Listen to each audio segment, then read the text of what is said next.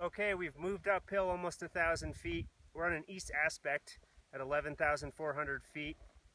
And we're seeing drastic difference between the snowpack we saw down below tree line as that up here at near and above tree line.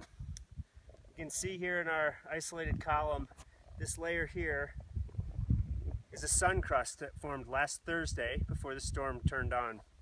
So basically this is a great demonstration of this is the snow we had before the storm this was added almost three inches of water to our extremely weak snowpack at these elevations. Places like this that are getting additional load from the wind are putting more weight on this weak on these weak layers down here that are struggling to adjust to this recent load. You can see as we pan out here, this slide started as storm snow and it actually stepped down to a layer of buried facets that's about four to 10 inches off the ground. I'm going to demonstrate how weak this layer still is with a cross slope propagation saw test.